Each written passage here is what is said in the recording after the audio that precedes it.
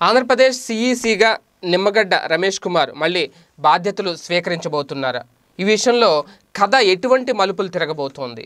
ఎప్పుడూ లేనిది AP AG ఎందుకు మీడియా ముందుకు వచ్చి మాట్లాడడం జరిగింది? వాస్తవానికి ప్రభుత్వం తరపున న్యాయవాదులు మీడియా ముందుకు వచ్చి మాట్లాడడం అనేది చాలా తక్కువగా ఉంటుంది. కానీ ఒక క్లారిటీ ఇచ్చే ప్రయత్నంలో ఆయన మీడియా ముందుకు వచ్చారా లేదంటే తొందరపడి నిమ్మగడ్డ రమేష్ కుమార్ గారు సెల్ఫ్ గోల్ వేసుకున్నారు అనే విషయాన్ని ఆయన ప్రజలకు తెలియజేసే ప్రయత్నం చేశారా?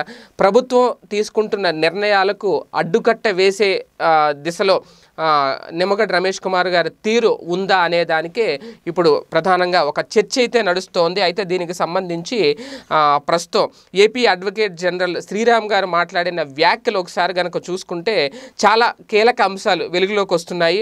ఎందుకంటే నిమ్మగడ్డ రమేష్ కుమార్ గారి తీరు చాలా అభ్యంతరకరంగా ఉంది అని ఆయన నొక్కి ఒక్కానించడమే ఇందుకు నిదర్శనంగా చెప్పాలి. ఎందుకంటే ఒకసారి క్లియర్గా చూసుకుంటే ఆయన మాట్లాడిన మాటల్లో హైకోర్టు ఇచ్చిన తీర్పు కాపీ ఏదైతే ఉందో నిమ్మగడ్డ రమేష్ కుమార్ గారు దాన్ని పొరపాటుగా అర్థం చేసుకున్నారు అంటూ ఏపీ అడ్వకేట్ జనరల్ ఆయన మాట్లాడడం. ఎందుకంటే వాస్తవానికి నిమ్మగడ్డ రమేష్ కుమార్ రాష్ట్ర జిల్లా అధికారులకు ఒక సర్క్యులర్ జారీ చేశారు.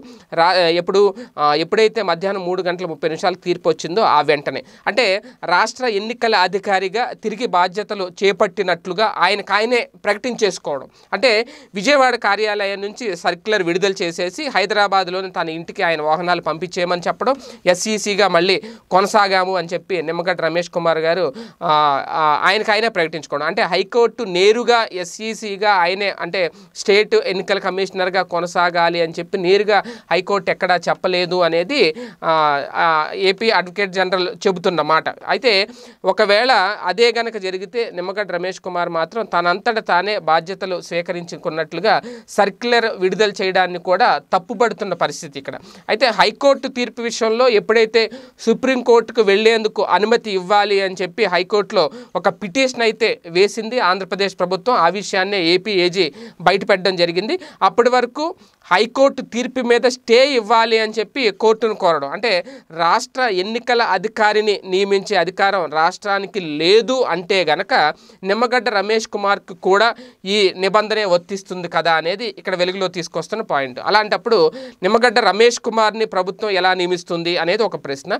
అలాగే నిమ్మగడ్డ రమేష్ కుమార్ను కూడా అప్పటి సీఎం చంద్రబాబు సలహా మేరకే నియమించారు కాబట్టి గవర్నర్ నిర్ణయంలో మంత్రిమండలి సలహా గనక అవసరం లేదు అంటే అప్పటి సీఎం చంద్రబాబు కూడా ఇచ్చిన సలహా చల్లదు కదా అనేది ఇప్పుడు మరొక రేజ్ అవుతున్న రెండొక ప్రశ్న. అంటే నిమ్మగడ్డ రమేష్ కుమార్ నియామకం కూడా చెల్లదు అనేది ఏపీఏజీ చెబుతున్న మాట తెర మీద తీసుకొచ్చిన అంశం. దీని మీద ఒక క్లారిటీ అయితే రావాల్సి ఉంది. మొత్తానికి ఈ హైకోర్టు తీర్పిచ్చిన నేపథ్యంలో కాల వ్యవధి స్పష్టంగా చెప్పుకుంటే రెండు నెలల కాల వ్యవధి ఉంటుంది అనేది ఏపీఏజీ వెల్లడించడం జరిగింది. హైకోర్టు తీర్పు ప్రకారం నిమ్మగడ్డ రమేష్ కుమార్ గారు స్వీయ నియామకం చేసుకునే అధికారం అయితే లేదు కాబట్టి ఎస్ఈసి స్టాండింగ్ కౌన్సిల్గా ఉన్న ప్రభాకర్ని రేపట్లోగా రాజీనామా చేయాలి అని చెప్పి ఆయన ఏవైతే ఉత్తర్వులు ఆదేశాలు జారీ చేశారో నిమ్మగడ్డ రమేష్ కుమార్ గారు అవి ఎంతవరకు వర్కౌట్ అవుతాయి అవి చెల్లుతాయా లేదా అనేది కూడా ఇప్పుడు తెర మీదకి వస్తున్నాం. సో మొత్తానికి ఇప్పుడు సుప్రీంకోర్టుకి అయితే వెళ్ళబోతున్నారు ఈ ఎస్ఈసి నియామకానికి సంబంధించి. రాష్ట్ర ప్రభుత్వం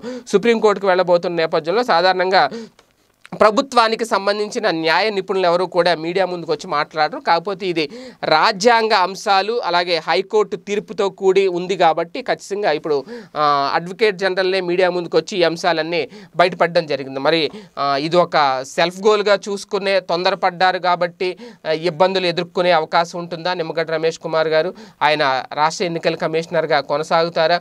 సుప్రీంకోర్టు నుంచి ఎటువంటి తీర్పు వచ్చే అవకాశం ఉంటుంది? ప్రభుత్వం దీనికి సంబంధించి ఎటువంటి నిర్ణయం తీసుకుంటుంది? ఏంటి అనేది కూడా ఆసక్తికరంగా ఎదురు చూ చూడాల్సిన పరిణామాలు.